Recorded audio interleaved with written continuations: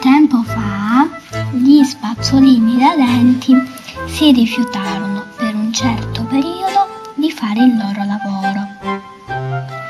Erano stanchi di sentirsi trascurati, nessuno pensava al loro stile di vita, costretti ad essere confinati nei bicchieri sulle mensole delle stanze da bagno, dove vedevano solo la luce accecante dei neon, dove dovevano sorbirsi le puzzette dei bambini e dove alcuni di loro andavano in crisi respiratoria ogni qualvolta i signori adulti si scaricavano addosso quantità enormi di deodoranti spray.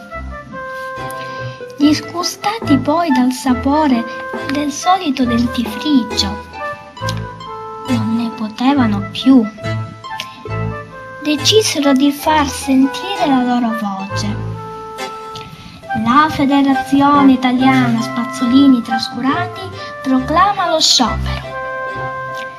Gli spazzolini prepararono le loro valigie e i loro trollers e partirono alla volta di posti di vacanza da sogno.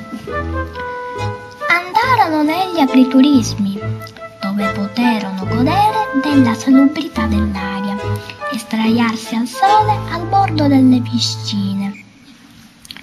Un gruppo di spazzolini decise di fare un'escursione in un bosco lungo i sentieri affiancati da ruscelli canterini, scorsero dei cespugli di erbe.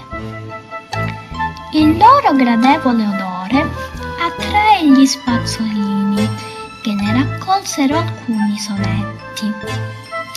Alcuni spazzolini ne assaggiarono qualche fogliolina e la trovarono squisita.